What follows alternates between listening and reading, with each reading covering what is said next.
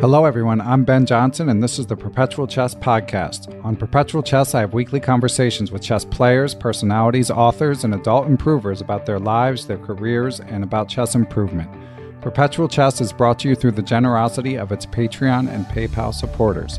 For more information, go to perpetualchesspod.com. Hello, everyone, and welcome back to Perpetual Chess. We have a return guest this week. Dare I say he was one of my favorite guests? Uh, he is an international master, a well known and acclaimed author. He is a consultant for the World Chess Hall of Fame. He works on the Samford Fellow, the Samford Fellowship Committee. Um, he is recently retired, which we will discuss as um, director of the Mechanics Institute. And we will consider this part two, two and a half years from our first interview. So, uh, first of all, if you haven't heard that one, you should definitely go listen. But we've, we've got a lot to catch up on and a lot we didn't even get to the first time. So, IM John Donaldson. Thanks for coming back on Perpetual Chess. Well, thank you for having me, Ben. So, how is, uh, we were just discussing briefly before we started recording. It sounds like uh, retirement is not as leisurely as you might have expected. Uh, no, I, I, initially I, I envisioned it as a chance to uh, start studying again and playing again. I seems like uh, like 20 years ago since I last had the opportunity to really uh, uh do both. Uh, but uh, it, it, turns out that with retirement comes the possibility to travel more and and various projects. And I'm trying, still trying to finish the uh, the print version of the uh, Fischer series, and uh, right now I'm at the stage where I'm just uh, doing rewriting, and I, I, hope to have the the biographical part, which was parts four and five of the ebook series, out, you know, sometime either at the end of this year or early next year. Excellent. Coming right up. So, will there be different material, or are you just sort of uh, combining it all, or what's different for the print version as compared to the the e and Kindle versions? Uh, it'll it'll be they'll be quite different. Uh, at least the uh, the last two sections of the ebook, uh, which dealt with uh, more biographical material, um, I've learned a great deal uh, in the last year and a half, in part because the World uh, Chess Hall of Fame has acquired uh, part of the archive of uh, William Lombardy, and they've uh, uh, they had collected the materials on loan from the U.S. Chess Federation on Jerry Spann, an old USCF president, and there's just a lot of letters back and forth that gave more insights into his life, and also one thing with the ebook series will be different is that I had a lot of photos in there that were taken by uh, Beth Cassidy. She was a uh, photographer ch- for Chess Life in the, uh, and I should say for Chess Life and Chess Chess Review in the mid 1960s, and she um, took wonderful black and white photos, but uh, she only saved the slides. And a friend of mine, uh, the late Frank Berry, he scanned all those slides about a decade ago, but uh, when he did that, you know, it was a time when, uh, uh, you know, higher resolution scanning wasn't so readily available. And as a result, uh, a lot of those photos, which really turn out nice in ebooks, and there's like, you know, dozens and dozens of them, unfortunately, they don't really work for a print book. They're just not of a sufficiently high resolution. Uh, so there'll be quite a lot. I, I would say that uh, for the first three volumes in the, uh, the series, which deal with uh, Fischer's writings with Fischer's uh, uh, tour in 64 greatly expanded over Legend on the Road, and with uh, the third, which deals with all of Fischer's other exhibitions that he gave, including the, the month-long tour in Argentina in 1970. Uh, those will be very similar, although there'll still be some added material. But the last two volumes, which are which are the ones that I'm working on right now, uh, which will be one print book, um, they're still uh, you know, I mean, I just to give you a, a couple examples. Uh, one is that uh, uh there's a book uh, from Iceland that was just recently translated into English, and I, I beg forgiveness, I can't pronounce the gentleman's last name, but in there he mentions that William Lombardy and Bobby Fischer reconciled, and probably many of your viewers know that uh, after Lombardy wrote the article that appeared in Sports Illustrated in 1974 about the uh, Fischer-Spassky match from an insider's point of view, uh, Bobby just cut him off and would have nothing to do with him. And in fact, in 1978 at the U.S. Uh, Championship in Pasadena, there was a very uh, unfortunate incident where uh, Lombardy ran into Fischer at a grocery store in Pasadena and uh, Lombardy kind of reached out. You know, he'd been a lifelong friend, and uh, and Fischer just cut him off. It's like I don't want to have anything to do with you. You know, you know, you know, we weren't supposed to do that.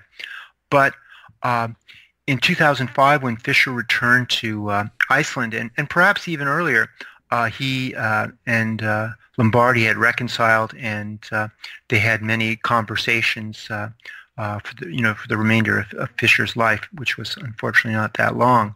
Uh, so that was one thing I had not realized. I thought that Fischer and Lombardy had basically, after that article appeared in Sports Illustrated in 74, that they had, you know, had no further communication. So that's like a, a nice development. Another thing I learned uh, just recently, the World Chess Hall of Fame, uh, uh as I mentioned, got the uh, uh, archive from Lombardy, which sadly to say, in, in so many ways he mirrored Fischer. And in his case, uh, just like Fischer uh, failed to keep up the payments on his storage locker uh, with all of his treasures in it, so uh, Lombardy did. And uh, these items have been, you know, being sold on on eBay for like the last year and a half. But the World Chess Hall of Fame was able to acquire a lot of them and rescue them. And amongst those items they saved was a letter from uh, Anthony Saidy to Lombardy and in that letter, uh, he mentioned to Lombardy, who was trying to, this letter, by the way, is from 1977. He was trying to make peace with uh, Lombardy, with uh, Fischer, and get, you know, back in contact with him. And he was hoping to use Saidy as the go-between. And uh, so they discussed that a little bit in the, uh, the, the letter by Saidy. But Saidy also mentioned that he had a long conversation with Fischer about blood transfusions. Mm-hmm. and, you know, he's like, well, blood transfusions? And Fischer's like adamantly against them. Like, and Saidy's like, under any conditions, like, you know, you're like bleeding out like from some fatal wound. And uh, under any conditions, you can't have a blood transfusion, Fischer said. And, well, he wasn't a Jehovah's Witness, so I don't know where that strong conviction came from. But when you line up all of his uh, uh, the incidents in his life from the early 1960s when he uh, had appendicitis in Yugoslavia and uh, refused to have surgery and, you know, was saved by antibiotics uh, to uh, uh, this incident with, you know, the question of the blood transfusions. And, of course, you know, later on in his life, we all know, I mean, you know, that kidney disease that he died from was, was treatable but he refused uh, uh, any sort of uh, medical intervention. And I don't know why he had the views he did. I mean, his his mother was a nurse, later a doctor, so uh, it wasn't like he was from a family that had no education, uh, hardly. Um, but those were two two recent things I just picked up. Oh, interesting. And, I'm sorry to cut you off. I was just going to, I know that last time we spoke, you mentioned that you had seen uh, William Lombardy um, briefly before he passed. So if you, I guess if you'd known then what you know now, you could have uh, tried to extract a few more details. Although I don't know if he would have shared them. Uh, he was, uh, you know, he of course uh, the last uh, six weeks of his life he spent in the Bay Area. Uh, he was a regular at the Mechanics Institute. he he seemed to have a really good time when he was there. you know, all the mechanics members really enjoyed having him. People were taking him out for lunch. I mean, people, chess players from uh, Europe would come into the uh, mechanics and they'd see the, the, famous William Lombardy and they would want to play him a couple blitz games and they would pay him nicely for that. And uh, uh, it was it was very nice to see him get some of the recognition that you know he was due. Uh, but uh, I wonder, you know, he also had medical uh, uh, issues earlier in the year. He, he, I believe, he was hospitalized in uh, New York for uh, uh, heart-related issues, and one wonders also about him. You know that, you know, probably they they wanted him not to uh, have such a uh, active uh, uh, lifestyle that he did. You know, I mean, he he he was pretty fearless, even despite all of his uh, uh, physical challenges. But I mean, I think he might have known that he didn't have that long, and you know, you you know, he wanted to enjoy himself instead of being, you know, hospitalized and eke out a couple extra months. He just wanted to to to have some adventures. Yeah, yeah, that that makes sense. Um, so so we're hoping to get this Fischer book out in in late December. Uh, do you feel like do you feel like um your research is coming to a natural conclusion, or is it more just that uh, it's time to publish the book? You know, it's. Uh, uh, I think it's a, a, a, bit of both. Although, having said that, I don't know if if, if everybody noticed, but uh, uh, recently all the games from one of uh, Fischer's uh, simuls in Germany was uh, from 1970, I believe it's from Munster. Uh, they were published on ChessBase, but not the English version, but the uh, German language version. It was probably a couple weeks ago. Uh, so thing, and there was like, like maybe like 15 or 17 new games. I mean, I can't say they were all great brilliancies, but they were interesting. Uh, so things keep popping up. Hmm, that, that's interesting. So, have you men- you mentioned you're thinking, or at least we're considering uh, coming back to competing in chess? Have you made have you managed to crack open the books at all? Um, any, or is that just uh, fallen by the wayside for the moment? You know, it's been sort of a double-edged sword. I, I have played a couple tournaments this year, and and, and, and with reasonable results, uh, considering all the rust. But uh, I I don't want to get too tempted to do too much study now because I still need to finish these books first. I'm the sort of person that I can't like juggle like a, a, whole bunch of balls at the same time. It's it's easier for me, especially with a big project, just to focus in on it. And I just need to do it for like the next month or two, and and then then then I can switch over to, to playing mode. That makes sense. And is uh your co-author Eric Tangborn is he still collaborating? Um, yes, he is. Okay. He is. He uh, he's uh, uh, you know a lifelong friend of mine from the Tacoma Chess Club, fellow international master, and uh, a fellow, you know, like myself, he started playing because of Bobby. Okay, well, John, I mean, obviously we love your books and uh, eager eager to to get the print version and and read everything, all the new research that you've uncovered. But it would be fun to see you playing again frequently as well. I mean, you, I don't, we, I, we just last week had an, um, I interviewed what we call an adult improver, you know, a player in his fifties who's um, you made a significant rating jump on shoot. Um, and it's always fun to see uh, older players, older accomplished players, still battling and you know trying to trying to carry the torch for uh, against the the younger uh, hotshots. Well, I mean, on that note, I would point to uh, two players that are real inspiration to me. Uh, both uh, octogenarians. One is uh, uh, uh, international master Anthony Saidy uh, at the uh, National Open uh, uh, just a few months ago. He beat a, a 2,500 plus uh, FIDE Grandmaster at the age of 85. Wow, that's and incredible. It is, uh, and, and, I believe that's a record. I mean, obviously, you know, he was never quite the player that uh, Korchnoi and Smyslov were. I mean, who who is? Right. But but but by the early '80s, they they I don't I, I don't I can't think of anybody who's beaten a, a grandmaster of that level uh, at his age. I think that both Smyslov and Korchnoi by the early 80s had either stopped playing or were, you know, had really rapidly declined. I, but you have to check that with Korchnoi. Uh, the other person who really inspires me, and actually Saidy's 82, I think, but the person that uh, also inspires is uh, is 85, and that's Viktors Pupols of uh, uh, Washington State and he's played over 100 tournament games this year. Wow. And he beat, uh, uh, IM uh, Bryce uh, Tiglon, who did very well at the U.S. Uh, Open. He had like a real breakthrough event and almost qualified for the U.S. Championship. And uh, Viktors beat him in the Washington State Championship, which is a round-robin tournament earlier this year.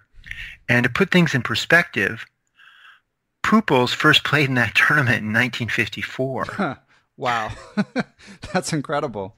It is. It is. So I mean, both those guys. I think you know. Uh, you know, obviously, as you get older, you know, you're you're not going to play quite at the level you did when you were at your peak. But I think if the motivation, and the hunger are there, and you still study and work hard on your game, I, I think good things can still happen. Excellent. Yeah, and since you're since you're drawing from octogenarians, you're you're in your early 60s, right?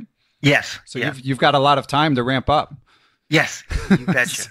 Excellent. So so we'll look forward to that. And I, I understand that you've been sidetracked a little bit, so maybe this would be a better question to ask you once once the Fischer book is published. But uh, in terms of what you would do in order to sort of um, you know, resharpen your skills um, and and uh, try to try to put your best foot forward playing. So, w- what would your study regimen be? Well, uh, I think that uh, uh one thing that uh, is absolutely essential, and it's true for all players, is you you really have to work on your chess skills. To that extent, I think that you uh, you need to solve a lot of tactics. I think if there's anything that all chess uh, teachers agree on and, and, players do, it's that you need to uh, uh, uh, you know you know spend you know at least you know half an hour, maybe an hour a, a day on tactics and those could also be supplemented by uh, uh, trying to solve uh, end-game studies or you know or problems if you like. Um, and there's a lot of materials out there now. I mean, whether you want to uh, study, uh, uh, you know, with electronic device or you want books, there's just a, a lot of choices and a lot of good ones these days. What would be? What do you think your preference would be? Are you more of a tactics book person, or are you comfortable with the tactics trainers? I think I would do both, but I'm more uh, more paper oriented. Uh, but I think both are very helpful. And uh, uh for end-game studies, uh, I might even set them up on a board. I mean, you know, I find those to be much more difficult, much more challenging. I mean, you know, usually most tactics I, I can solve pretty easily. I mean, you know, even even more difficult ones I can do pretty well on, but uh, but end-game studies, you know, are more forgiving, unforgiving, I should say. They just uh, you have to be very accurate and precise, and uh, it really requires you to visualize. And in terms of uh, doing tactics, do you? So you mentioned you can solve uh, most, or at least uh, run-of-the-mill chess tactics. Um, do you feel like as sharp as you ha- ever have, or do you feel like it's slightly more challenging than it used to be? Well, just judging from the uh, uh, tournaments that I uh, have played in this year, I played in a small tournament in Oklahoma, but there was like a, uh, IM uh, Patel, who's a very promising young player. He was competing in it, and I, I drew with him there. And I played in a, uh, a smaller tournament in Berkeley. I would say that there's definitely rust, and also I can see that in the last uh, decade, the average level of play has definitely increased in the U.S. and uh, partly it's because of uh, you know all these kids uh, who you know are very uh, sharp tactically and usually you know pretty well prepared in their openings. Just the general level of opening knowledge has just increased tremendously. I mean, I used to enter you know 40, 50 games every week uh, from our Tuesday night tournament at the Mechanics and uh, I started to notice after a while that you know even like you know players are rated like 1600 or 17 1800 uh, they would play like you know a dozen moves of theory uh, uh, whereas I remember when I was starting out you know that was not the case at all. So that's really changed. Fortunately they don't play the end games like you know like you know 2400 players or right. it'd be a real trouble. But uh, uh, but definitely the just but in general, I would say that there are just so many tools available now that, uh, uh, that, that, that there's a there's definitely an upward trend. Yeah. Well, we'll look forward to, to seeing when, when you get to play more. And um, you mentioned all the uh, the talented young American players, and and before we were recording, we were just discussing the World Cup a little bit, and it's nice to see. Um, you know, we're recording Thursday; this will be out Tuesday, but so it doesn't make sense to to break down the actual tournament too much, but it was certainly I, I, was mentioning that we have three top three U.S. players in the top ten, and that's not including Hikaru. Uh, when so it's um it's it's an incredible time, and uh, it made me think of your your the work you've done as the captain of the Olympiad team. Um, so what's the what's um what's the timeline for determining the U.S. next Olympiad team, the one that will be fielded next year? Well, the Olympiad next year will be in Khanty-Mansiysk. It's a small city that's in uh, uh, Siberia, not too far from uh, uh the uh, Ural Mountains. And uh, this is was the site for the 2010 Olympiad. this is where the World Cup's being played right now. this is the scene of a place that's held a lot of important chess tournaments, both international and and domestic. And it's uh, sort of a service center for the uh, oil industry in that part of Siberia. So it's a, a fairly prosperous town by uh, Siberian standards.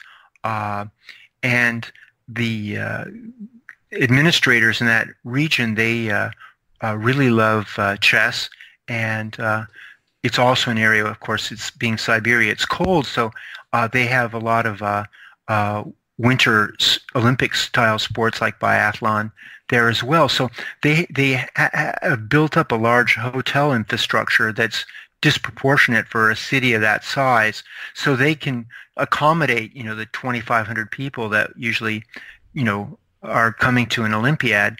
So it'll be in Khanty, and uh, the team will be selected immediately after the end of the uh, U.S. Championship, and that would likely be, you know, say approximately in March. And what would happen is that uh, whoever wins the U.S. Championship and the U.S. Women's Championship would automatically get a spot on the team. Um, of course, that's you know with all the, the, the players you just mentioned, uh, you know that are rated three in the top ten, and and Hikaru uh, and and of course, uh, you know Sam Shankland and Jeffrey Xiong being over 2,700 as well. Uh, it's likely that probable, I would should say, that whoever wins the U.S. championship is probably somebody who's going to already make the team on by rating. But nonetheless, if you're champion, it doesn't matter what your rating is; you are on the team.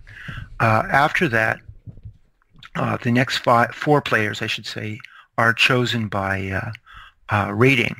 And it's a formula. It's uh, uh, one component is your current USCF rating. That is at the conclusion of the U.S. Championship.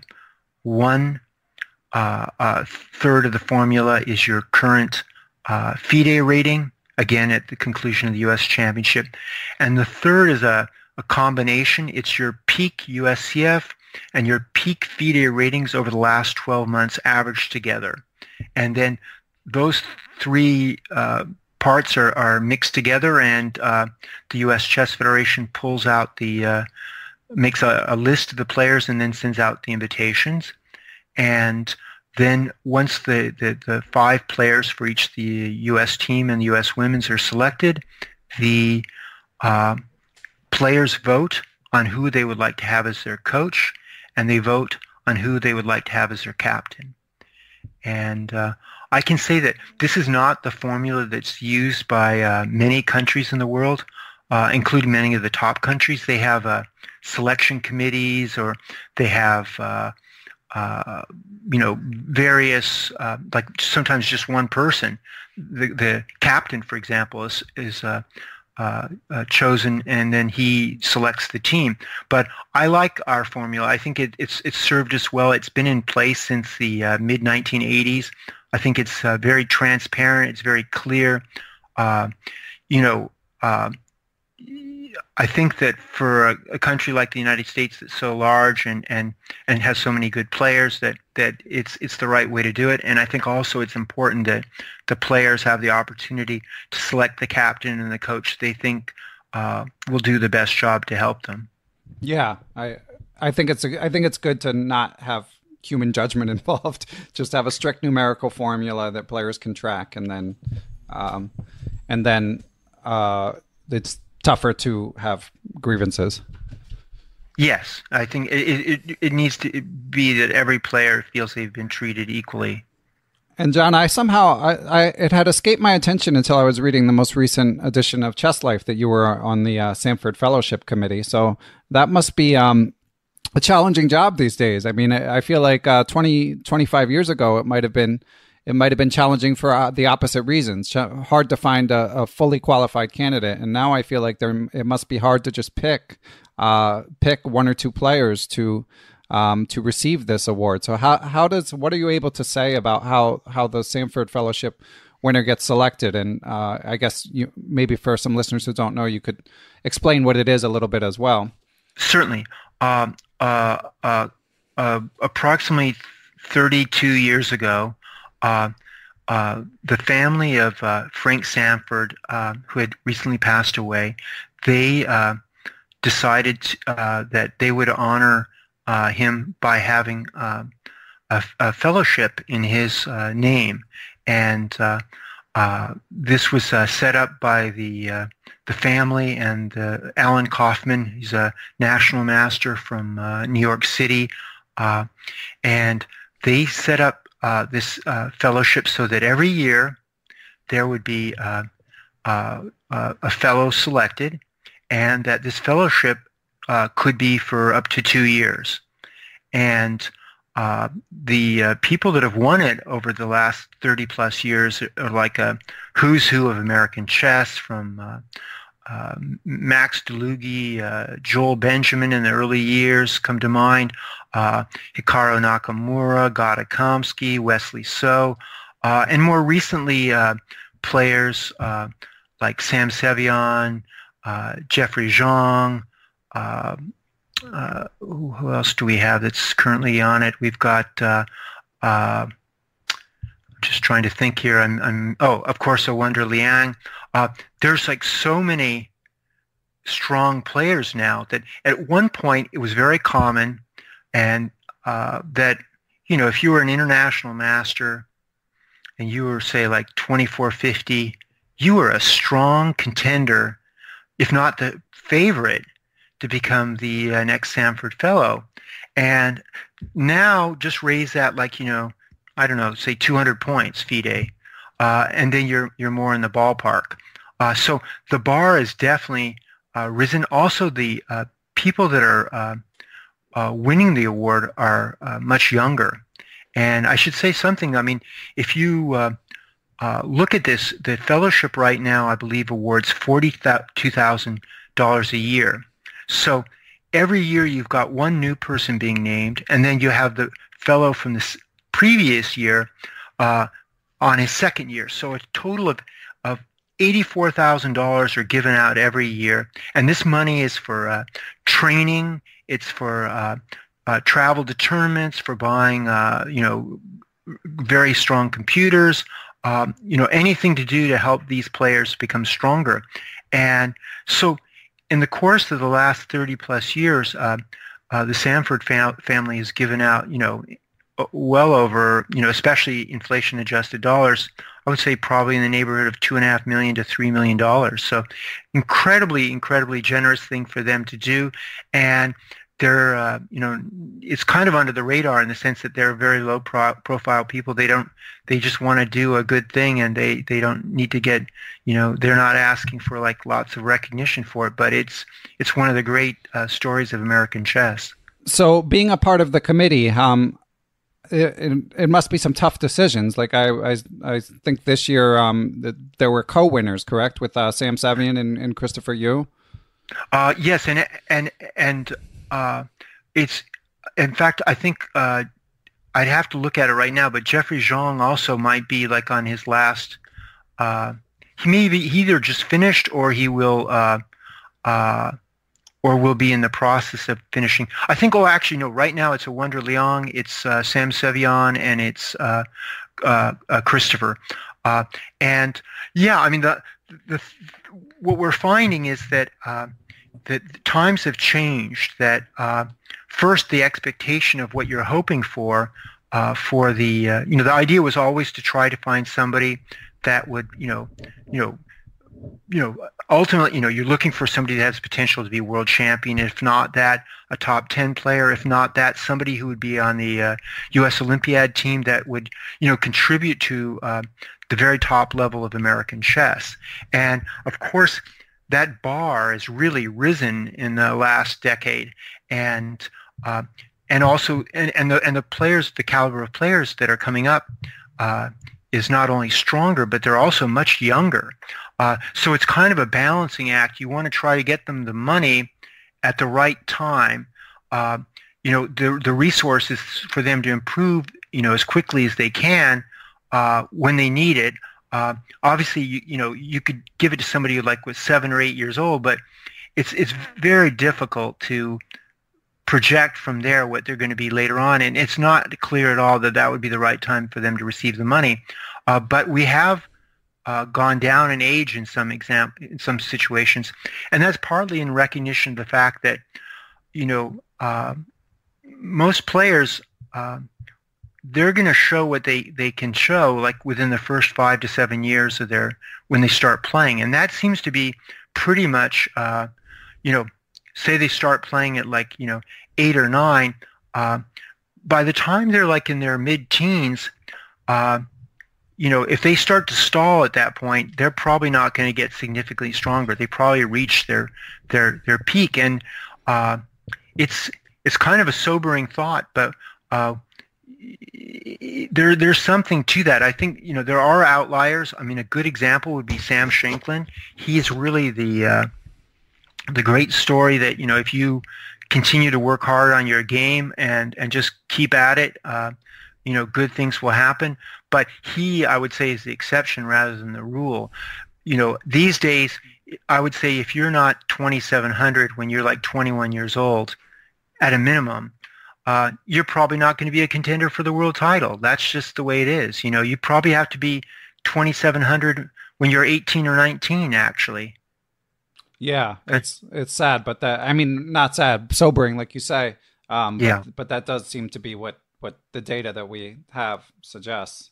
Um, yeah, and it is tricky what you say about rewarding people when they're younger because someone like Christopher Yoo, uh, he, I mean, he's he's on such a fast trajectory that and that it's on the one hand he's he's so young, but on the other hand, um, you you want to get the most bang for the buck, and um, you know he's traveling all over the world, so it's uh, I'm sure they could use the support. Right, and that's why we've divided the, the you know, so it wasn't kind of an all or nothing situation. Not put all your eggs in one basket and just back one player. And uh, uh, you can see, I mean, uh, Jeffrey Xiong uh, is is now 27-15 FIDE. Uh, you mentioned that we have, uh, you know, three players in the top 10 in Hikaru. Uh, we also have two other players in like the roughly the top 30ish, and that's uh, Jeffrey and Sam Shankland. So that's six players over 2,700, and I would say we have like another dozen or close to that uh, that are over 2,600 feet FIDE. So uh, the United States, uh, I mean, the situation is just uh, you know changed dramatically in the last decade, and you know we not only have like a lot of real strength at the top, but we also have more depth. And with uh, uh, Jeffrey and uh, Sam Sevian, we've got two of the top five players in the world, you know, under age 21.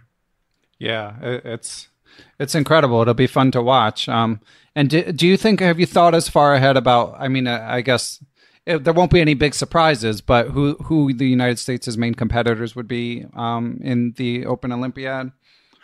Well, the, the first thing to keep it, keep in mind is that uh, to win an Olympiad, you have to play very well, and you have to have a little bit of luck. I think personally that we played better in 2018 than we did in 2016, but we had a we had luck in 2016 and we didn't have the luck in 2018, specifically the one match against Poland where we could have easily won that match like three to one, and instead we we lost it two and a half, one and a half, and that was you know, and then that ended up causing us to tie for first, and we lost the tiebreak instead of winning it. Uh, uh, the thing with the Olympiad is that you know it's only 11 rounds now. I say only because when I was first captain in 1986, it was 14 rounds. Later, it was 13. Now it's down to 11. I mean, they face the reality that they've got close to 200 countries competing now, and the the host country is responsible for the providing accommodations and meals. So it's just a question of economy. Uh, then the other thing is there's a lot more countries competing. When I first uh, was captain in Dubai in 86, there was probably a little over 100 countries. And now there's like 184, roughly, something like that, that showed up last time. Uh, you know, that's going to, you know, fewer rounds and more teams. It's going to make it, you know, a little bit more of a crapshoot. And also, there's more strong teams. I would say in 1986, if you had a team with all grandmasters playing on it, regardless of their ratings, uh, you were probably seated in the top 10. Now you could have a team with all grandmasters, say they're average like 2,500. Well, you'd probably be like the 60th or 7th team in the Olympiad.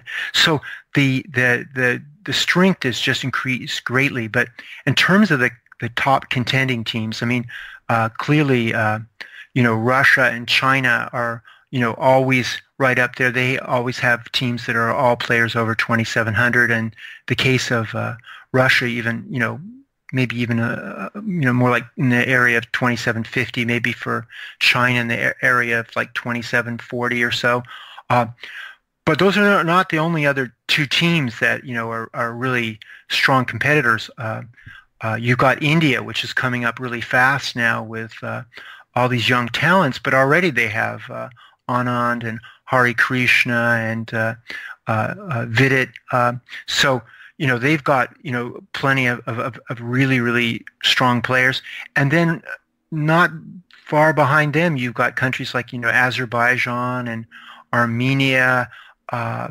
you know there's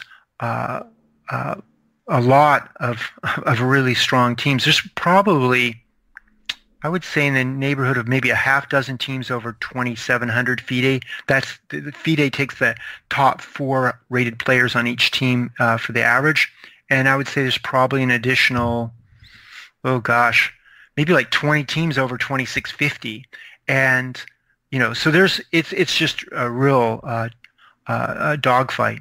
Yeah, it'll be interesting, and and what about away from the board? Do you have so you first time you were captain? You said it was 1986. So, what are your favorite stories from from all the times you've managed to to uh, attend these uh, historic chess events?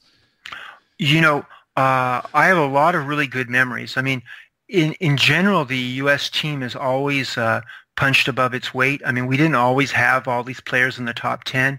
Uh, we would have teams where uh, they were much more balanced, where uh, in the old days you actually had two reserve players uh, to go along with the four starters, and the six players would almost be, you know, within like 10 or 15 rating points from one to six. Uh, so they were more balanced, and, and everybody would, you know, play above their uh, regular level, and so uh, the U.S. is has has done remarkably well. I mean, not just the last two Olympiads, but if you look over the last, you know, going back to the uh, say 1974, I would say would be when it started. Uh, the U.S. has won a, a large number of medals. I would say, with the exception of the Soviet Union slash Russia, uh, we probably definitely are the second country uh, in terms of total medal count, and that's you know it wasn't like we were like you know seated like 10th or 12th in these olympiads but but usually we were like seated like 5th or 6th but somehow we would find a way to to win bronze.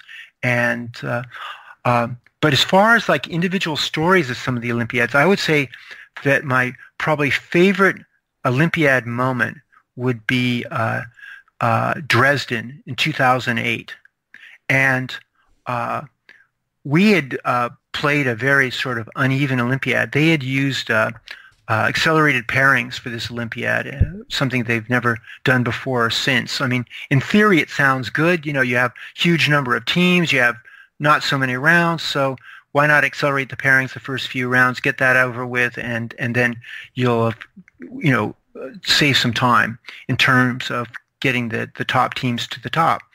Uh, unfortunately, it doesn't seem to work so well for uh, team events as it does for individual. And so uh, we, I don't know exactly what happened, but we just got off to a really slow start.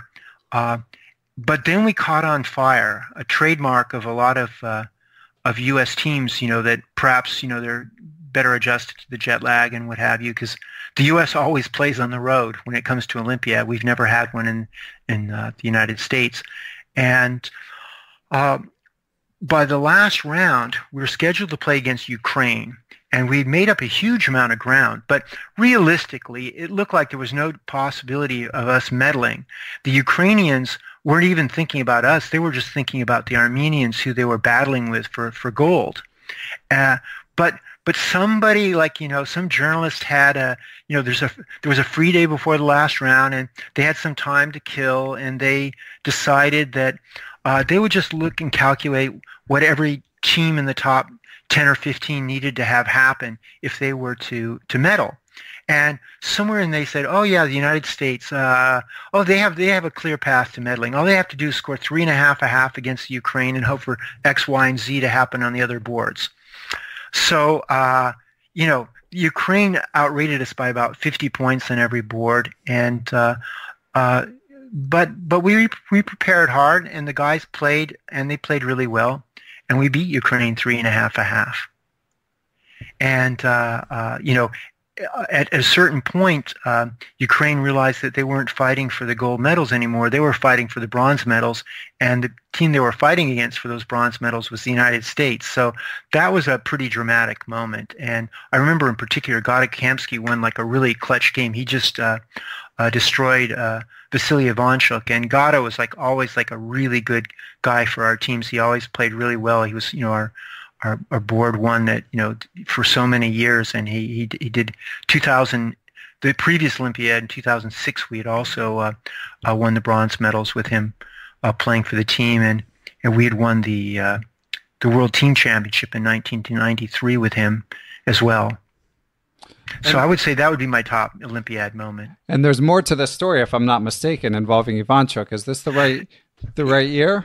It is. I'm afraid that uh, the uh, uh, the FIDE uh, they have uh, uh, these drug testers, and I'll, I'll, say a little bit about that in just a second. But essentially, what they decide is they pre-selected individuals to test after the round, and you'd think that it would be make sense to wait until the uh, round was over and pick the winners because they're like going to be so happy that you know they're not going to mind the inconvenience of, of having to, you know, go through this testing procedure.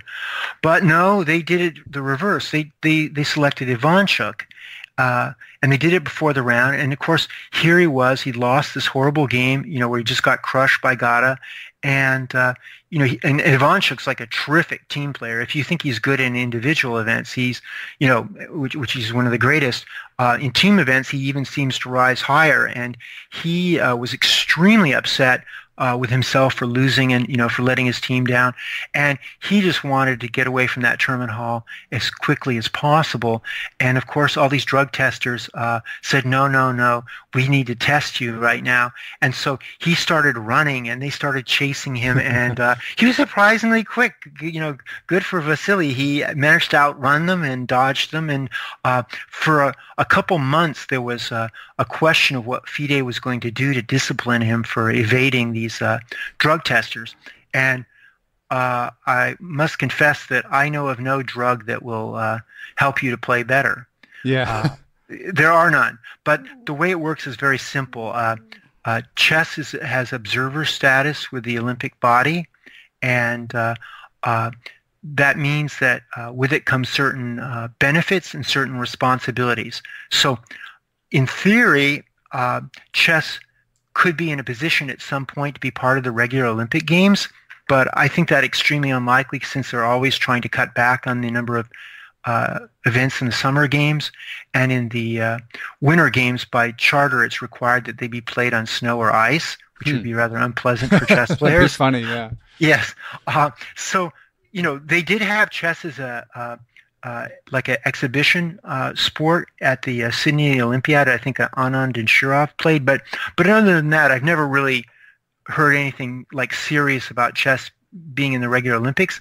But one fringe benefit is that a lot of countries, particularly in Europe, if you have this Olymp- this Olympiad relationship with this observer status, you're eligible for funding for your national sporting body.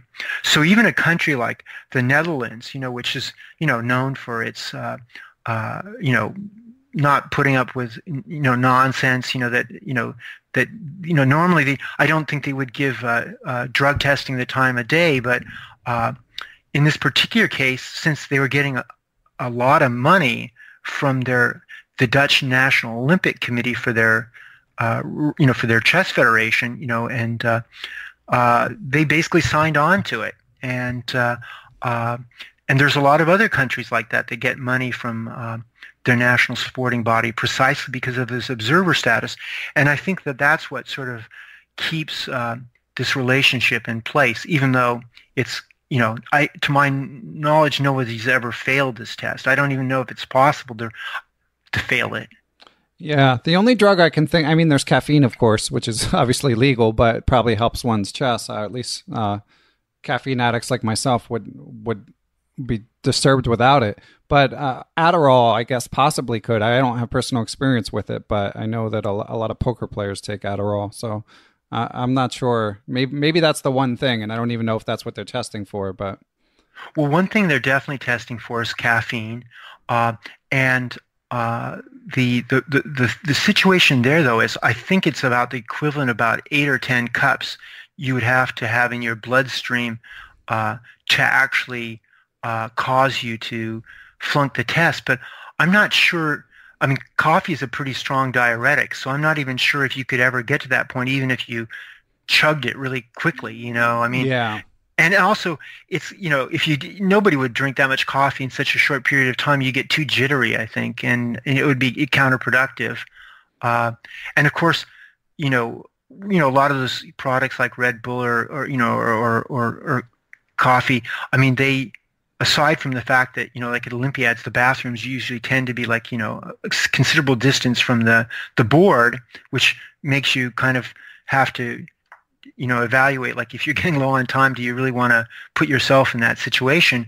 But uh, you know just it has it ha- it has some positive effects but it might have some negative effects also. It might allow you to focus better at one point but maybe you you crash at another point you know? So I, I i've never heard of anybody you know playing dramatically better because of stuff like that I, yeah. I, just don't think so. I think it's electronic cheating that, that they should put the main emphasis on, and that's what they're putting it on now, and I think that's right. Good, yeah, that's uh, such a such a thorny issue. I mean, it's it's so hard to account for every possibility with electronic cheating.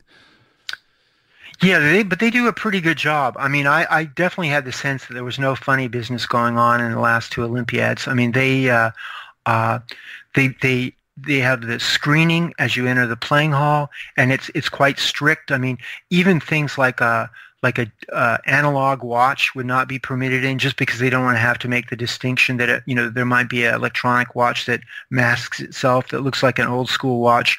Uh, they uh, they supply the pens. The players are not allowed to bring in pens, uh, so they have a pretty rigorous screening process.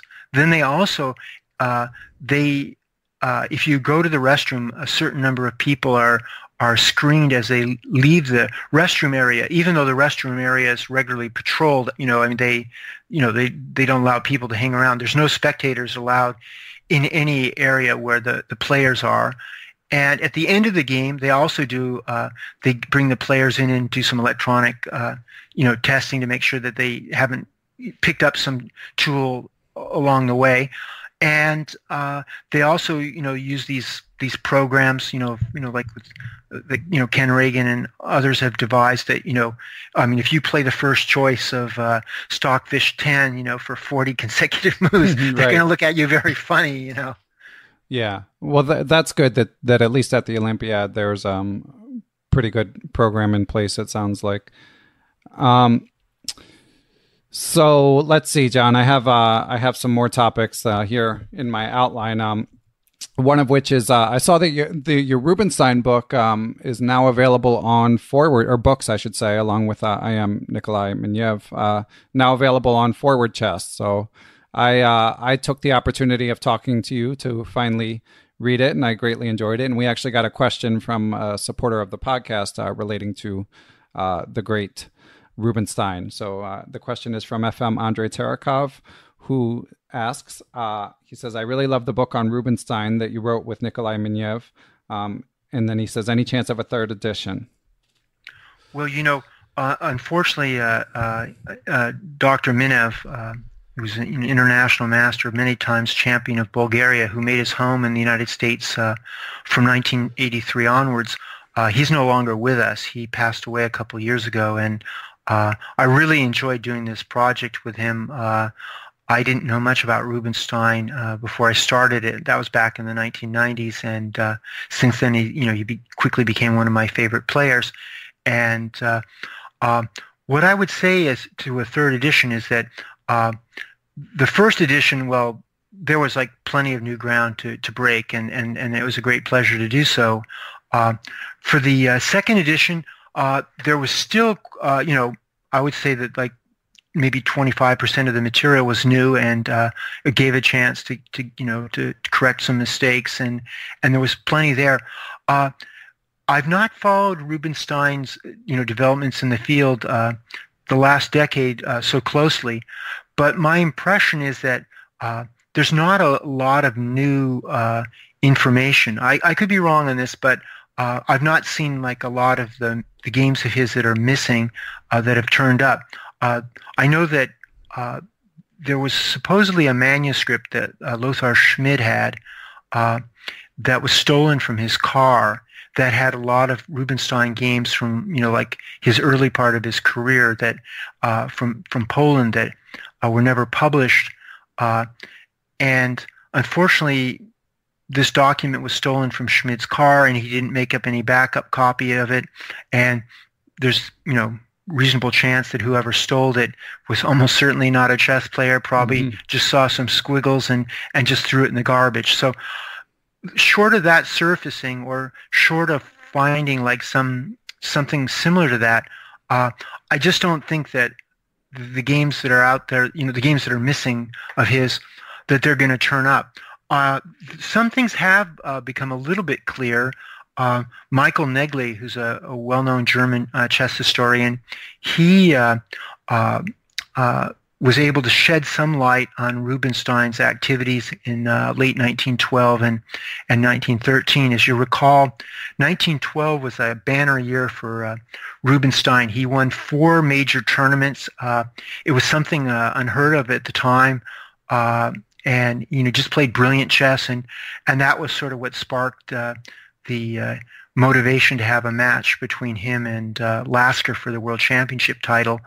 Uh, but uh, after Rubinstein won those four tournaments he didn't play for a while. I mean he didn't play in uh, the end of 1912 he didn't play at all in, the, in, in 1913 now to be fair, there weren't quite so many big tournaments in 1913 as there were in 1912.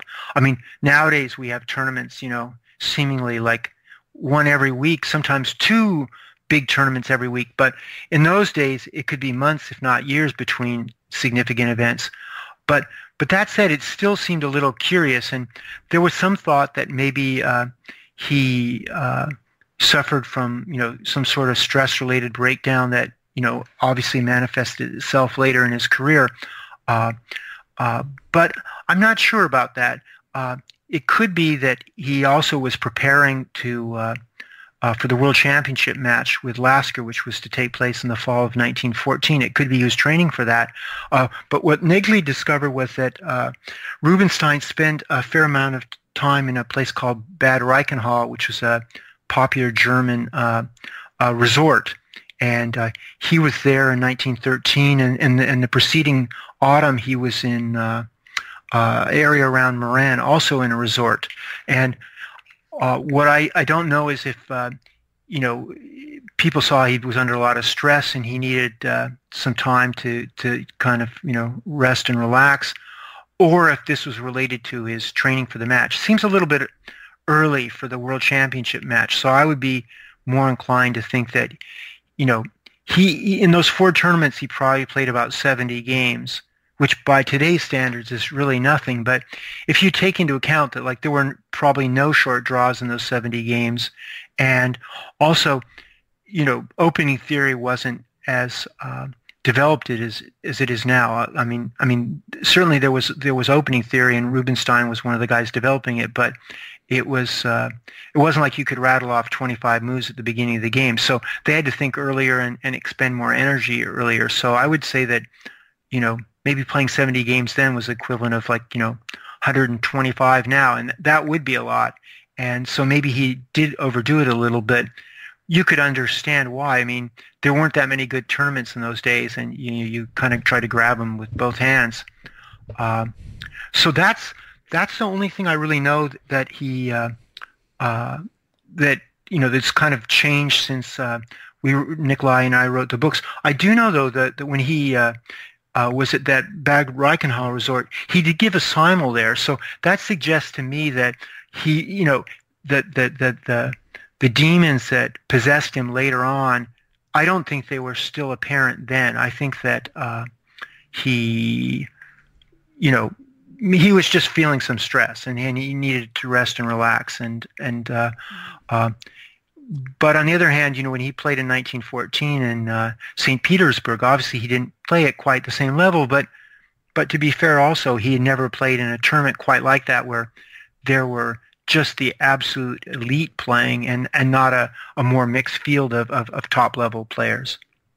Okay, yeah, that that sheds a lot of light. I know it's uh what what happened to him in 1913 is a subject of some intrigue, and he did have the the legendary work ethic. Uh, you know, uh, said he studied what was it, uh, uh, six hours a day, 300 days a year, pl- played 60 and took five days off or something like yes.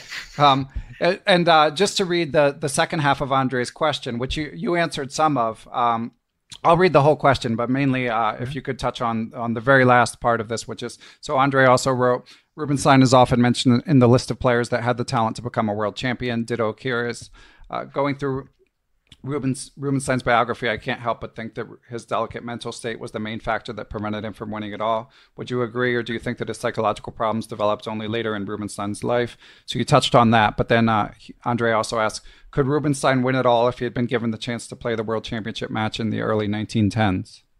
You know, uh, that's a very good question, and I think that uh, uh I think that his problems really, I think the First World War didn't help his delicate psyche. I think after the First World War, I mean, and the privations that, you know, he, he went through, I think that, you know, he, he, he, it, wasn't going to happen. It was, it was, you know, he was not going to become world champion. Uh, the question is, you know, if the match had been played like, say, in 1910 or 1911 or 1912, would he have uh, uh, been able to take the title? And one thing I should mention is that although you know you have this impression of Rubinstein as this kind of fragile individual, uh, that was really true later. Uh, not in those years, and he was a terrific match player. I mean, just terrific match player. He beat a lot of really good players, and uh, uh so I think it would have been a fantastic match. The one that they agreed to play in 1914 that was interrupted by World War One, it was going to be a 20-game match. So uh, you know, it would have been a real treat to have seen those games. Uh, and and I should say also that uh, uh, Rubinstein was really tested in matches. He had matches where he he was trailing in the beginning and he came from behind uh, at the last moment. So he you know he was a very tough match player. But having said that, you know I would have to say Lasker is Lasker, and uh, I think if uh, if any player of the great ones of the past is is is uh, you know enjoyed like a, a renewed appreciation in the last des- decade, I would say it's uh, Lasker, in part because of the uh, uh, book by uh, Andy Soltis, and there's another one by John Nunn, and then this series by Michael Negele, Raj Tischbierek, and there's a another one that's partnering with him whose name escapes me. But those uh, uh, they they've done like a three volume uh, work on uh, Lasker that's really terrific. I mean, um, the guy, you know, I mean, nowadays we understand that a lot of these old, uh, you know, mis- misconceptions about Lasker playing weak moves on purpose and in, in playing indifferently in the opening. That in fact, he was a modern player. I mean, a really modern player and and and, and really great. And I I would say that it would be a very close match, but I would have to say that Lasker would be a small favorite. Okay, well, huh? It's yeah, it's um. I know it's one of the, one of those debates, one of the many chess debates that that we'll, right. never, we'll never know the answer to. But yeah, and and in lieu of a, a, third volume of Rubinstein, I would definitely I would give a, a, uh, a strong recommendation to two books by uh, Boris Gelfand. One's called uh, Dynamic Decision Making in Chess. Another one's called Positional Decision Making in Chess. Now, both of these books are not per se about Rubinstein, but there's a large number of games in both of these books. Uh, I mean, Gelfand's on record as being uh, a big fan of uh, of Rubinstein, and and this is sort of in part his homage to the to you know to a, to his his great hero. Yeah, I, Rubinstein seems like one of those players who is he he similar maybe similar to what you're saying to Lasker. I, I as a when I was younger, I felt like I didn't hear about him as often as being one of the greats, but I feel like uh, no no grandmaster. He doesn't escape the attention of many grandmasters. So we can we can put it that way in terms of uh, mm-hmm. studying the classics. Um, and and while we're on the topic of chess history, John, um, unfortunately, as as we mentioned earlier, last time you and I spoke, uh, we were you were able to reflect on William Lombardy a little bit, but this time we've had a, a few other recent passings in uh, American chess and chess history. So, I mean, first of all, uh, Shelby Lyman, what are your your memories of uh, Shelby Lyman? I, I remember 1972, and I remember uh, you know uh, you know PBS and uh, Fischer Spassky, and uh, I mean of course by today's standards it was uh, ludic- ludicrously uh, low tech. I mean they would have people running in the moves. The moves would you know be delivered not on you know not in actual time. there were no computer engines running in the background. Players would just that that were recruited to do commentary on the match with Shelby, they would, uh, uh, you know, throw in their comments.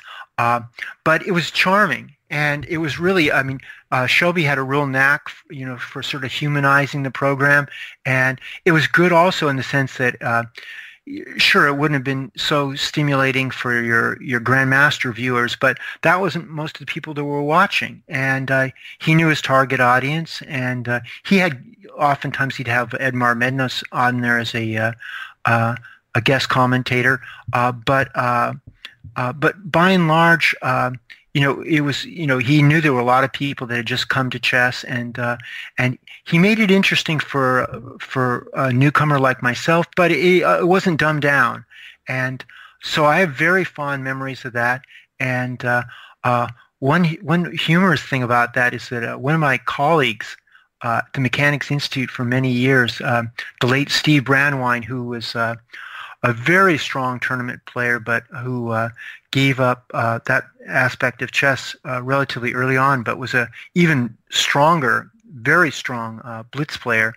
Uh, he was on that World Championship show in '72, and they asked him about some position, and rather than answer the position, you know, give his insights into what was going on, he mentioned Uh, uh, uh, you know, uh, shall we say, rather negative comments about Henry Kissinger, U.S. Uh, hmm. Secretary of State, and uh, I think it was like Running Dog Kissinger and the evil one, Richard Nixon.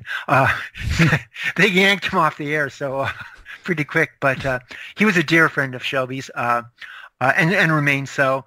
but yeah, it was it was it was an entertaining show. Let's just put it that way. Yeah, I, have never had the chance to see it, but I mean, uh, the it was fun to read a lot of tributes to the, to the effect that he had on everyone's life um, when he passed away. Um, yes. Did you ever get a chance to meet Shelby in later years? I did. I did. In fact, I actually he was a good player. Uh, he played for the U.S. Stu- student team in Uppsala in '56, uh, but I remember him from uh, some Bill Goichberg internationals in the uh, late '70s. I pretty sure I remember playing uh, a Philadelphia International at, one of the hotels in downtown, and it was it was a really unusual location because it was uh, it was near a suburban station I want to say in Philly, which is uh, one of the main railroad stations in the center of the city, and uh, uh it was it was Mean, maybe it was not near there, but it was near the subways. But uh, every so often we would it was it was not the quietest site. Let's just put it that way. But I remember Shelby playing in that tournament, and the late uh, uh, Geza Fuster, who's an international master, and uh, international master Karl Burger, all these you know chess lovers who who passed away. And uh, I remember in that tournament also that uh, uh, one of the strongest players uh, in the history of American chess not to become a grandmaster was uh, Jack Peters of Los Angeles. And Peters was like rated over 2,500 FIDE when that puts you like, you know, in the top 150 or top 100 players in the, the world. And he uh, he had two GM norms, and he was playing Michael Wilder. And if Wilder drew, he'd make an IM norm. Of course, he later became U.S. champion and a grandmaster. Uh, uh, and if Peters won the game, he would become a grandmaster. And Peters was winning, but it ended up a draw. So he missed the GM norm by half a point. And then uh, Peters, uh, you know, he, he, he had he had a, a, young family. He had like two kids. He he was living in Los Angeles. He didn't really have the opportunity to travel, and uh, the norms then were uh, just for like you know now they're for lifetime, but then they were for I think three years, and he just didn't really have the opportunities to to try to finish it off, and he missed the GM title that way. Hmm. And he was the the chess writer for the L.A. Times, right? Oh, for like 25 years, yeah. yeah. Oh, and very and one of the best columns in the United States we've ever had. Um, yeah, and uh, and unfortunately, we have some other recent passings. Uh, chess historian Dale Brandreth, and of course, uh, uh, Pal Benko. Yeah, I mean, uh, of course, everybody knows about Pal. I mean, you know, he was one of the the greats in so many ways. I mean, he was, you know, uh, uh, you know, twice a candidate for the world championship. He also, you know, you think of his contributions to opening theory, not just the Benko Gambit, but like a lot of lines in the English opening that he had his little uh, uh, uh, innovations. and, and of course also, you know, he's a world-class problemist. I mean, I think that you know, obviously he got inducted into the U.S. Chess Hall of Fame, you know, you know, right away. But in terms of, uh, say, he had never played chess, he probably would have gotten in just for his problem composing. Hmm. You know, so he was, you know, and also he's just terrific endgame player. I mean, just terrific endgame player. I mean, back in the days when they had adjournments, he was highly sought after, not for his opening preparation so much, but for his uh, his ability to uh, do adjournment analysis. And uh, of course, you know, we also remember that he was the one that stepped down uh, and gave his spot uh, uh, to Bobby Fischer for the interzonal. Yeah, seventy. And is there in your in your research about Bobby Fischer? There's been some people have said he was uh, paid explicitly to do that versus paid versus paid implicitly versus not paid at all. And like, what do you think his motivation was? Okay, well, I think his motivation was very clear. He wanted Bobby to play in that tournament. He knew uh, that he wasn't going to qualify for the candidates, but he knew that Bobby was. So he wanted to give him that chance. Well, the thing to keep in mind is that Fischer by the late 60s, was no longer playing in the U.S. Championship. And the reason for that that he gave was that he felt that the tournaments were too short you know, they were typically like a 12 player round robin. And, you know, 11 rounds, you know, you lose a game or two early on, you know, it's, it's hard to make that up. And so in the case of uh, uh, Fischer, he actually had one U.S. championship where it was pretty close, where he lost, I think it was maybe 66, 67, or maybe it was the one before that. He lost to uh, uh Robert Byrne and he lost, I think, to Reshevsky back to back. And he only, I believe, won the event by maybe a half a point or a point. But it was enough that it kind of got him a little bit jittery. Keep in mind, I think he only lost three games in all the U.S. championships he played, but he uh, he started asking that the U.S. championship be like 22 players. You know the way it was in the Soviet Union, the way it was in Hungary, uh, and his thought was by making it a much longer event, the, the the potential randomness of a shorter event would be would be eliminated. But of course, there were a couple problems there. I mean, one is that all the players before the late before Fischer Spassky 72, you know, maybe Fischer and and Reshevsky were the only professionals. So typically, they had the U.S. Championship uh, during the Christmas holidays, uh, and that could accommodate, you know. Uh, uh, a 12 player round robin without people having to take a lot of vacation time. Uh, but a 22 player tournament, I mean, it would go over like a month. Right. Yeah. I mean, how would they make that time? Also, there wasn't that much depth at the top in U.S. chess. I mean, the top, you know, half dozen to maybe the top eight or nine players were very, very strong. But usually by the time you got to like, you know, number 10, 11, 12, you know, there weren't enough grandmasters to even, you know, to fill those slots.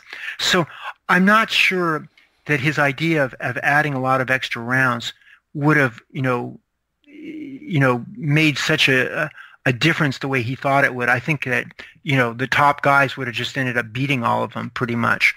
Uh, so and it, be that as it may, Fischer did not play in the 1969 19 or maybe yeah, it was 1969 U.S. Championship.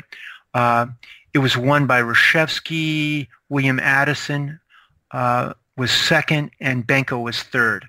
So those three qualified to play in the uh, interzonal. As such, all three of them would have been given $2,000 to play. And that would have been money to compensate them for the fact they'd be taking a month off work.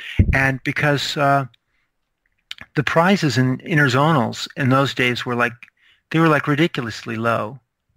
Uh, so, so if Benko had kept his position as a player, he would have received 2000 Instead, he offered uh, to uh, serve as a second and get his 2000. No so he served as the second for Addison and Reshevsky in the Palma interzonal. I mean, Benko was a very correct person. And uh, I mean, I don't think he would have like you know it, it, he trying to like you know just get like a, some money for like giving up his spot would have probably been the first thing from his mind. And so, but did Fischer Fischer get the 2000 as well? Uh, no, Fischer got a different situation. Uh, uh, and, and I discuss that at length in, uh, in, in my in the book Eric and I have written. And he he basically there were three parties. There was American Chess Foundation, there was the uh, Piatigorsky Foundation, Jacqueline Piatigorsky, and there was U.S. Chess Federation, and the three were equal partners. And what Ed Edmondson, who did so much to help Bobby on his drive to the World Championship, did is he basically just said, Bobby, here's what we're going to do for your World Championship cycle in each event, uh, you'll receive uh, your uh, you know expense money, your airfare. Uh, we'll provide the fees for your second. Uh, we'll provide you with honoraria for each tournament. And so Fischer got an honorarium. I, I, I would have to look at, to see what it was exactly, but I'm sure it was at least 2000 if not more. Okay. So there was no extra money that needed to be come up with. It was just a matter. No. Okay. Um, interesting. And um, uh, John, are you okay on time to to? Oh yeah, oh, perfectly. Great. Um, sure. So you had mentioned. Did you know Dale Brandreth, a chess historian? Uh, I you... did. I I did, and I was very saddened, uh, but not surprised to hear of his passing. He had been in poor health for some time, uh, and with Dale's passing, it's almost the uh, the end of a generation of uh, great uh, chess bookmen, chess booksellers, if you will. Uh, it it goes back to you know, I mean, you can go back back to like William Lyons before 1900, but I would say really modern U.S. chess uh, uh, uh, book dealers uh, go back to Albrecht uh, Buschke, and Buschke was a uh, a German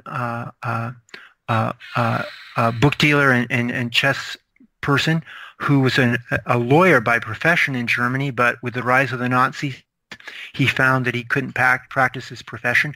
And then he quickly uh, came to the realization that if he wanted to uh, live, it might be good to find a new country to uh, uh move to. And he chose the United States. And he uh, had been collecting a lot of uh, chess artifacts. He would routinely visit the offices of uh, some of the German chess publishers and uh, magazines, and they would throw away like their manuscripts after uh they published the material, and and you know they would be by well-known players like uh, or what have you. And uh, he said, well, you know, could I have those? I mean, I'll be happy to take them off your hands. You're just throwing them away. And he he started out from that, and he started collecting chess, chess literature. And it turns out that you know when it came time for him to uh, leave the uh, uh, Germany, uh, you know, the the Nazis that were uh, looking at what he had in his luggage saw all this chess stuff and they said this rubbish, uh, but it was actually valuable stuff, as we well know. Right. And so it provided the uh, uh the uh, uh, the the the start for the uh, the seed money, if you will, for uh, what would become a tremendous uh, uh, a run as a, as America's premier book dealer, and he did that from like the 1940s all the way up until the till his death in the late 1970s, and of course, it, you know, he was based at 80 East 11th Street where the USCF was, and there's that famous story about how Fischer, after winning his first U.S. championship, was uh, given like $100 in credit by Buschke, and rather than going in and just randomly picking out $100 worth of books, he very carefully thought about what he wanted to get over the course of the next year, slowly using his credit. Well, if Buschke was the first great book dealer in the U.S., uh, there were a couple others uh, that came after that, uh, John Rather and uh, uh, Oscar Shapiro. But by 1960, uh, Dale Brandreth started to enter the scene, both as a publisher and as a, a, a book de- dealer, I believe, by that point.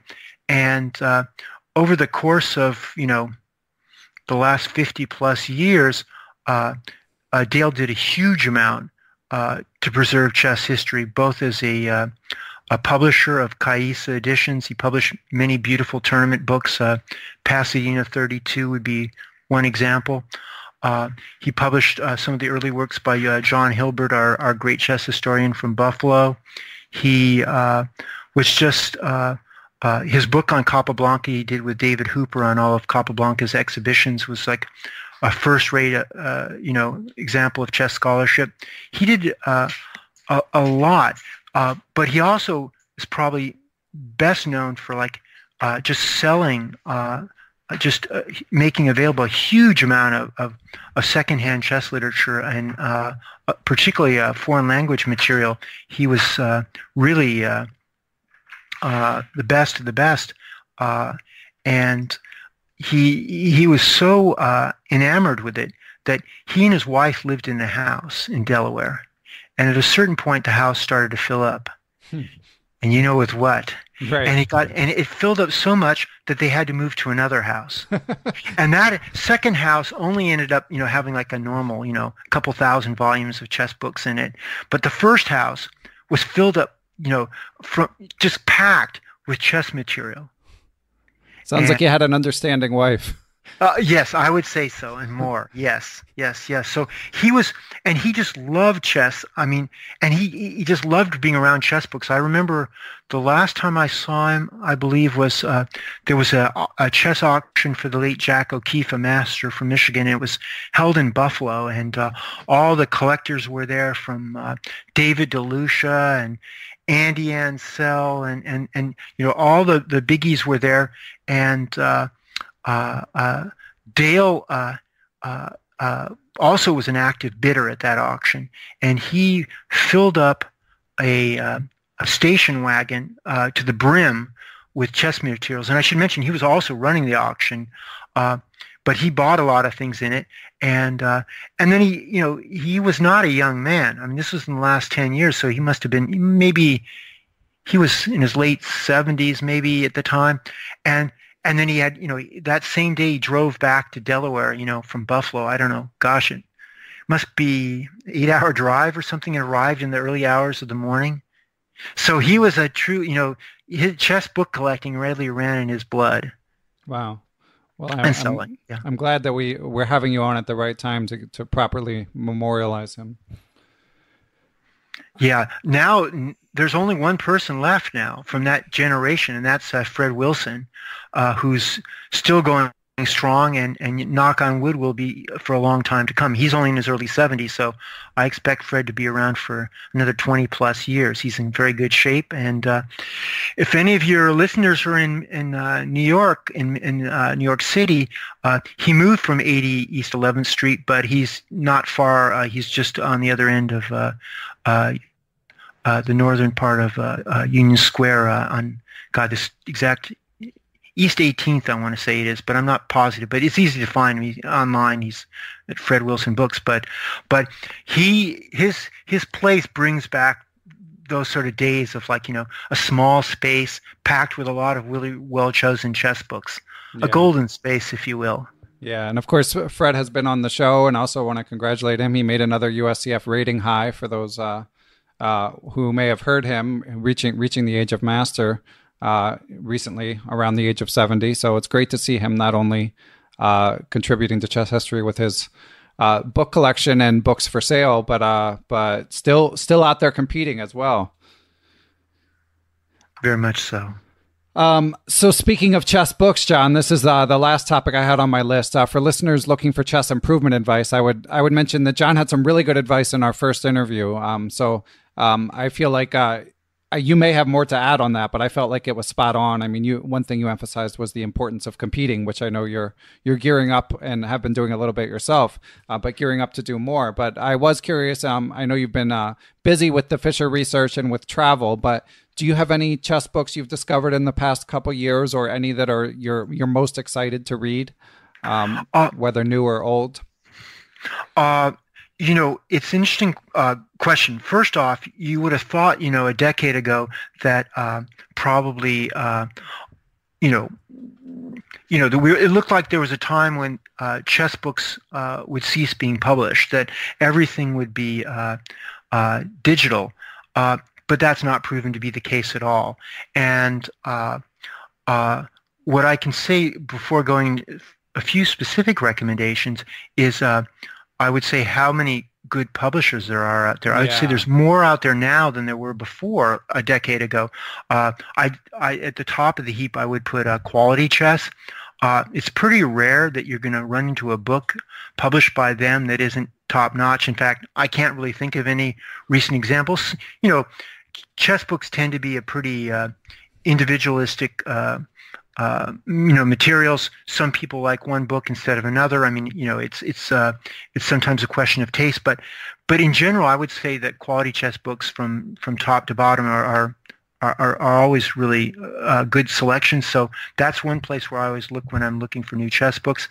Uh, there's a couple of uh, other European publishers. I mean, New in Chess, of course, has been around for a long time, but there's some more recent ones. Uh, there's one called uh, uh, Chess.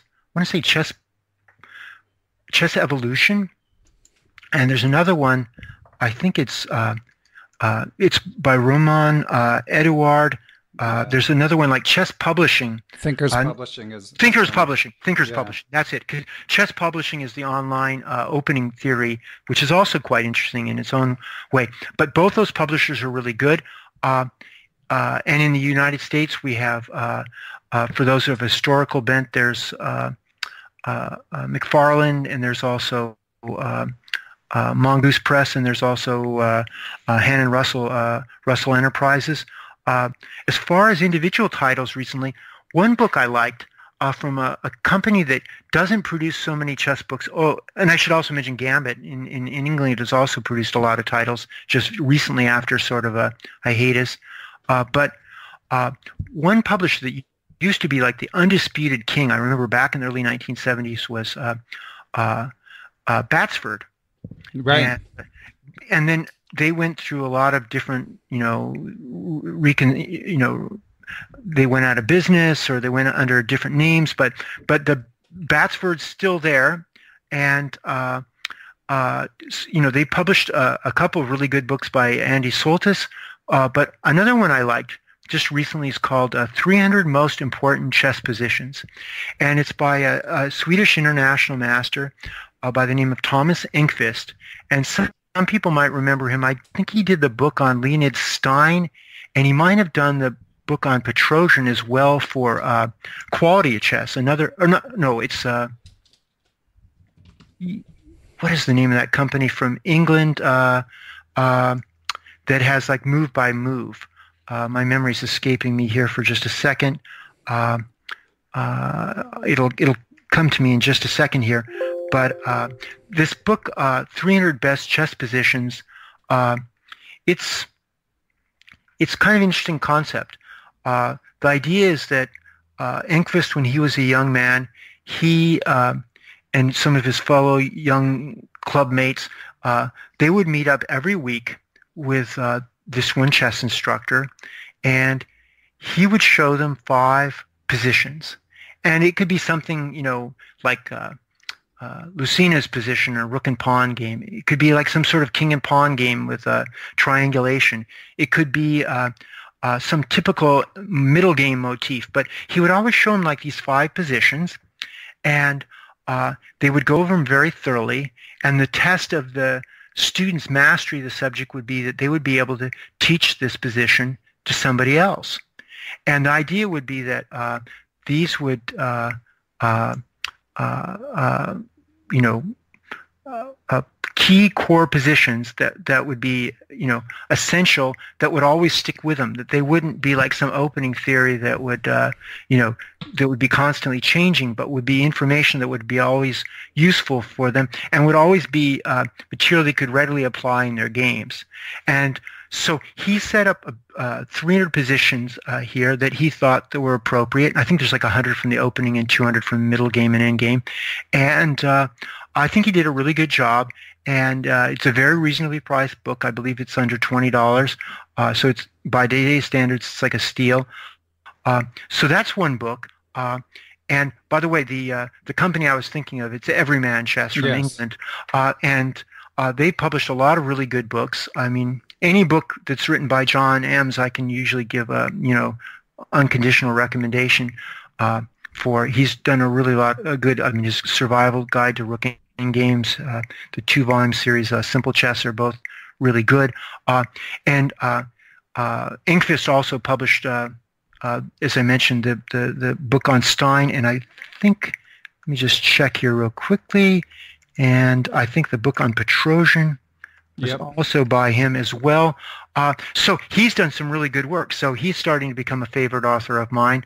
Uh, uh, as far as other books, I think the uh, uh, specific titles, I, uh, I'm, I'm intrigued by this book, The Woodpecker, Woodpecker Method by two Swedes that's published by uh, and uh, Smith. It's uh, published by Quality Chess.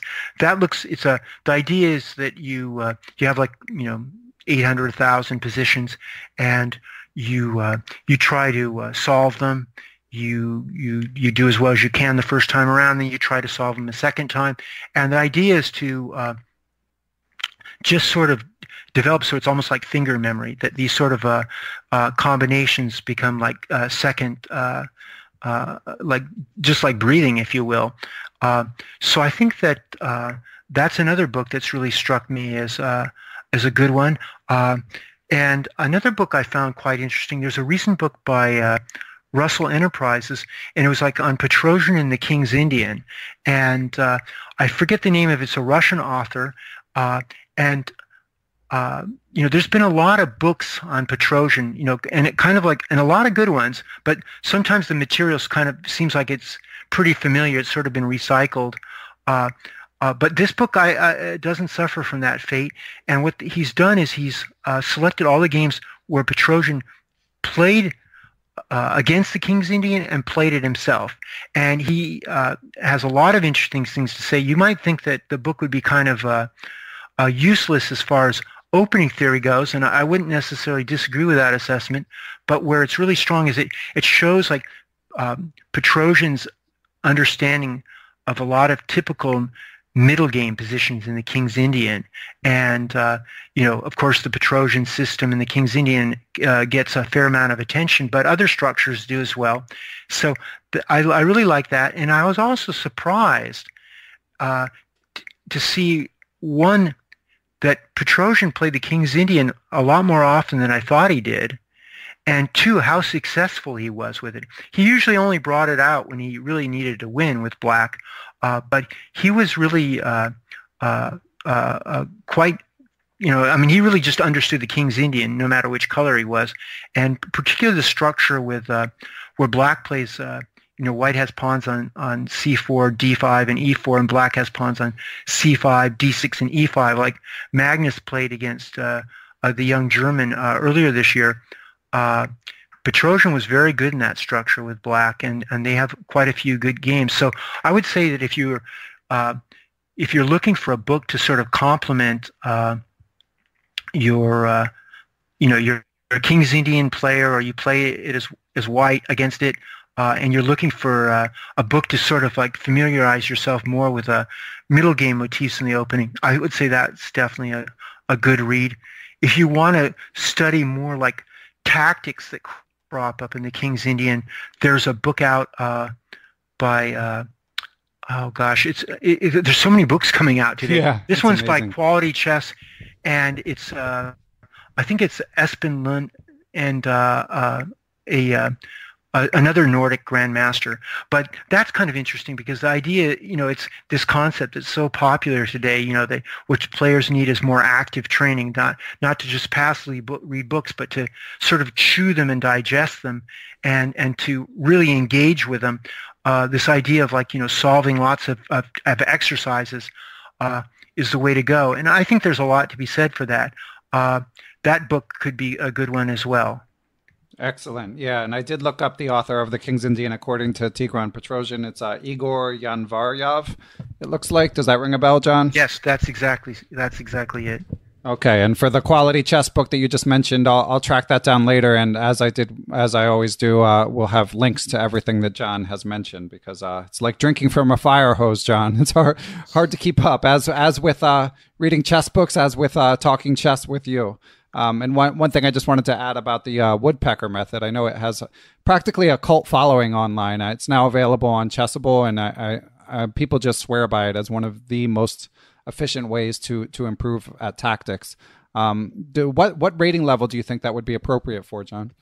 You know, that's a good question, and I think uh, it, it, opens up a, a broader uh, question, which is, uh, you know, how do you pick out tactics books that are appropriate for you because there's so many books out there, whether you call them tactics books or puzzle books or what have you. And I would say that uh, for players up to like, you know, 1800 or 2000, uh, solve, just solving tactics themselves is maybe not the right way to go. I would say that you want to sort of divide your, your, your, your time in, in, into two parts. One would be solving lots of tactics, but also you need to get your hands on a book that will explain to you the very basic tactical themes. And there's there's a fair number of good books out there. I remember like a book by like a, uh, I think it was like by Boykov and Gorgiev. Uh, there was a, works by uh, Dr. Minev. There's there's a, there's a couple more than a couple that are out there that basically just teach you fundamental chess tactics.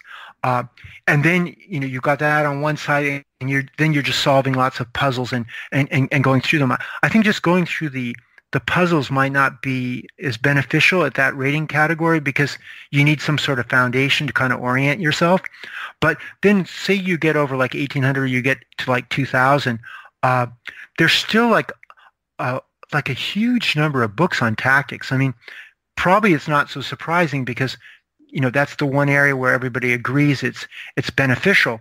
Uh, that's trickier, and I think that uh, one thing you need to do is if you're at if you have access to a bookstore like a Fred Wilson or or you're at a tournament, you know you could kind of peruse what's available, try to solve like ten of them, and if you find that you know you uh, got through them super quick, well, probably that book's not challenging enough. If if on the other hand you uh, you, you went through all ten of them and uh, you know there was a book by uh, Keaton Grabinski uh, that was like really at the high end. You know, this would be not the right book for somebody that's like 1800 or 2000 to work through, or at least they should realize in doing so that it's really tough going. Uh, you know, you you you you need to make sure that you know if you can't get like you know if you're really applying yourself and you can can't even get like 50% of them right, then it's probably a little too tough. Something to come back to maybe later on when you are a more advanced player. Uh, so uh, if you don't have access to uh, you know a chance to preview the book, if you will, that's one of the great benefits, like of being a member of something like the Mechanics Institute. Chess club is they have this huge library. Uh, I would say that uh, you, you, know most publishers nowadays they offer uh, PDF excerpts, you know, of a small portion of the book, and uh, that should probably give you a pretty good idea if it's at the right level for you. But in, in terms of the uh, uh, the woodpecker method, I've not yet partaken of it. Rather, I just sort of perused it, but like most quality chess books, I would say it's geared towards the higher end. yeah. I would say that I would say maybe 2,000 on up, maybe 2,200 on up, with the caveat that that's not to say that players that are say like 1,800 to 2,000 uh, wouldn't benefit from it uh, if they're willing to apply themselves and also realize what they're getting themselves into. Right. Uh, you know, but it's definitely not the book for say somebody that's like 1,200. Not at all. Okay. All right. Well, excellent advice, John. And uh, I think um, um, I've covered everything for for now uh, that that I had on my list. Is there anything else you'd like to to mention before uh, we we let you um, face the day? Uh, sure. Um, two things. One is uh, just a short uh, thing. I mentioned uh, two books by Gelfand for people that are interested in, you know, uh, you know, fresh Rubinstein material. Another book that's a little bit older that I can also give a very strong recommendation to is Learn from the Legends by uh, Mihai Marin, who's a great author. And that has a chapter in Rubinstein and Rook and Pawn games in it. So I can give that a strong recommendation. And then the other thing I thought I would uh, make a mention of is uh, everybody uh, knows about the U.S. success in the uh, you know 2018 uh, Olympiad. We tied for first. We lost on tiebreak to the Chinese, but it was a great result, and uh, uh and and you know and and and, and it's it's received its due. But uh, I would also point out to the performance by the U.S. team in the World Team Championship in Kazakhstan in 2019. It was held this last past March. The tournament was organized on extremely short notice, six weeks, with the result that most of the top American players had already made prior commitments. And so we didn't have any of the big guns, you know, uh, Caro, uh, Fabiano. Uh, uh, uh, I'm not sure if Leinier was eligible at that point, but I think he was. But but again, he had other commitments, and uh, also Wesley. So those four were out. Sam Shankland had already had a signed contract to play in Prague. He desperately wanted to play for the team, but he just, you know, he said, I signed a commitment. I, I, I've got to honor it. Uh, uh, Jeffrey Xiong, uh, uh, Ray Robson, who's played on five of our national teams, uh, both of them had commitment to play in St. Louis, added, as did Varuzhan Akobian. All this overlapped.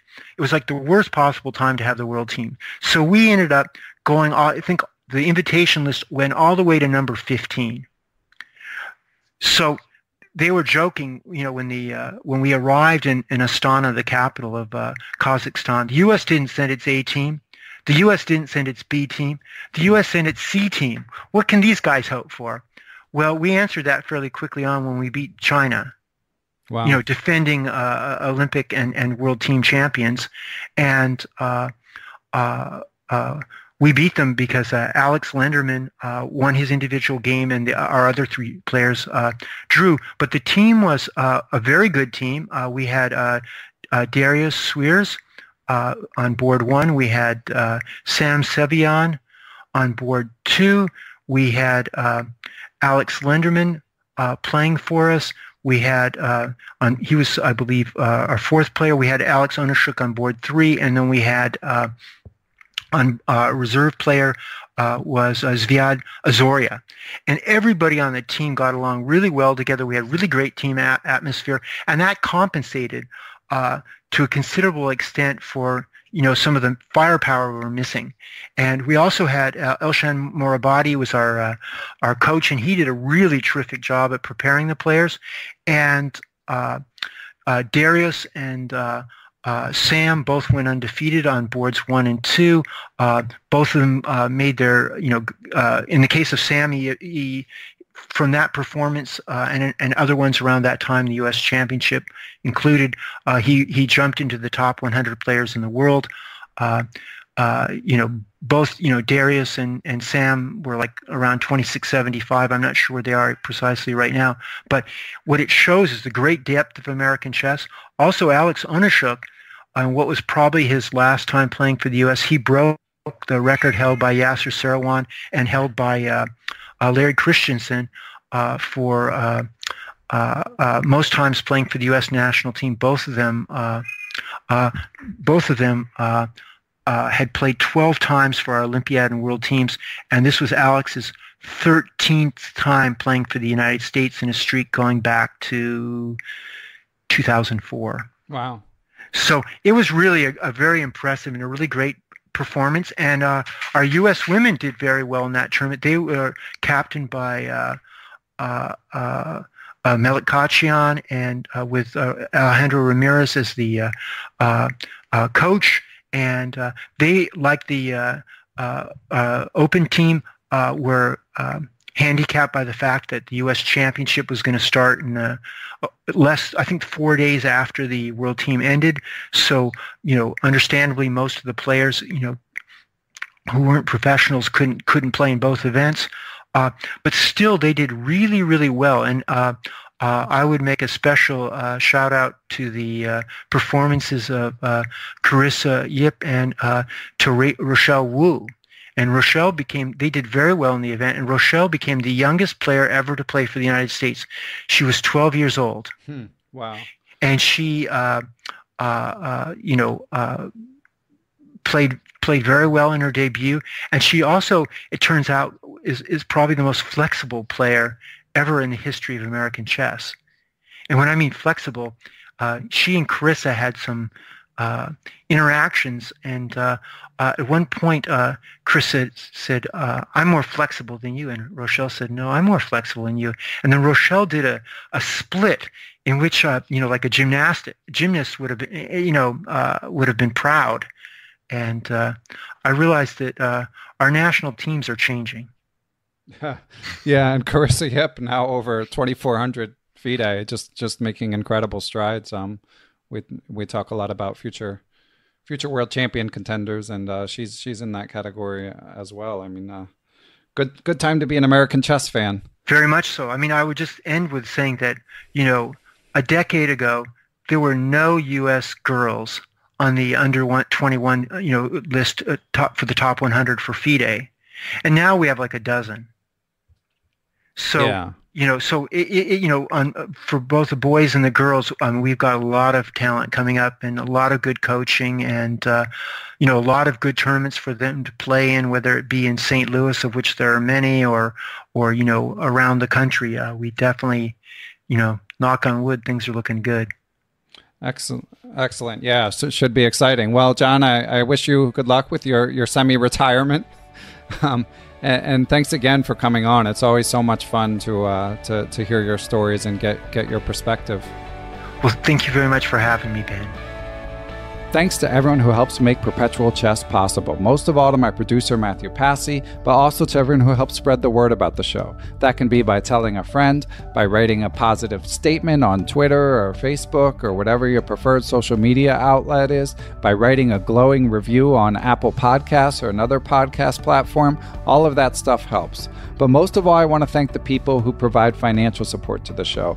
Without you all, the show would not be possible. So here we go. Thanks to my Patreon and PayPal perpetual partners. I would like to give extra special thanks to the following people and entities Chessable.com, Quality Chess Books, the Capital City Chess Club, the Apprentice Chess Twitch channel, Andrew Bach, Austin Clough, Benjamin Handelman, Kathy Carr, Chad Oliver, Dan O'Hanlon, Danny Davidson, David Schreiber. IM Dimitri Schneider, Greg Natel. IM Greg Shahade. Guven Monet, Jens Green, John Jernigan, John Cromarty, Kelly Palmer, Lone Pine Chess, the law offices of Stuart Katz, Michael Kahn, the mysterious Moonmaster 9000, Seattle Chess Club, Thomas Tachenko, Todd Bryant, Todd Kennedy, and I'd like to give thanks to Aaron Waffler, Ace Vallega, Adam Ralph of ChessEngland.com, Adrian Gutierrez, Alex Pejas, FM Andre Terakov, Bill Moran, Brad and Andy Rosen, Brett Howardland, Brett Zeldo, Brian Mullis, Chad Hilton, Chris Balcom, Chris Flanagan, Chris Wainscott, Christopher Baumgartner, Christopher Chabris, Christopher Wood. I am Christof Sielecki, aka Chess Explained, Coach J's Chess Academy, David Kofer, Daniel Gell, Daniel Ginsburg, Daniel Lucas of the U.S. Chess Federation, Daniel Naylor, Dave Saylor, David Kramaley of Chessable.com, Dwayne Edmonds, Ethan Smith, Evan Sagers. I am Elect Donnie Ariel. Fox Valley Chess Club, Frank Tortoris MD, Gary Andrews, Gary Lewis, Geert Vandervelt, Gerard Barta, Giovanni Russo, Han Shu, Harish Srinivasan, James Bonastia, Jason Woolham, Jeff Anderson, Jeffrey Martello, JJ Stranad, John Fernandez, John Fontaine, John Hartman, Justin Gardner, Jen Shahade, Jerry Wells, John Thompson, GM Josh Friedel, newly minted IM Kare Christensen, WGM Katerina Nemcova, Kelly Palmer, IM Kostya Kavutskiy, Krishna Gopala Krishnan, Larry Reiforth, Laura Belyavsky, Lucio Casada Silva, Matthew Knudsen, Matthew Passy, Matthew Tedesco of SeattleChessMeetup.org, Miguel Araspidi, Mr. Michael Shahade, Nate Salon, Neil Bruce, GM Pascal Charbonneau, Passy Passanen, Paul Bain, Paul Clarkson, Paul Swaney, Paulo Santana, Peter Lux, Peter Merrifield, Randy Temple, Ricky Grijalva, Rory Yearwood, Ryan Berg, Scott Doherty, Scott McKinnon, Steiner Lima, WGM Tatev Abrahamyan, Thomas Stanix, Tim Brennan of TacticsTime.com, Tim Seymour, Timothy Ha, Tomaz Kolmanich, Tony Rotella, Tyron Price, Victor Vrancoulge, William Brock, William Peterson, FM Zhao Cheng of Chess1000.com, and Zhivko Stoyanov. Thanks a lot, everyone. I will catch you guys soon.